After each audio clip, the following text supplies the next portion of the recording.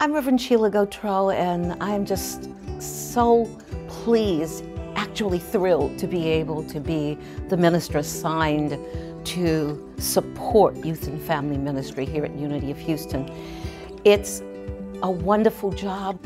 We come together every Sunday and we pray together, we meditate together, and we establish the foundation for what's to come.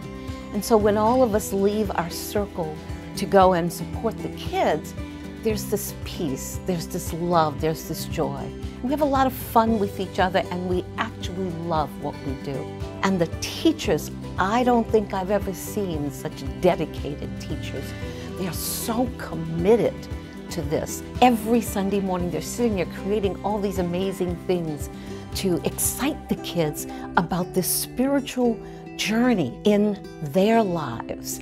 I love the kids. I love what they do for the kids. It's a blessing.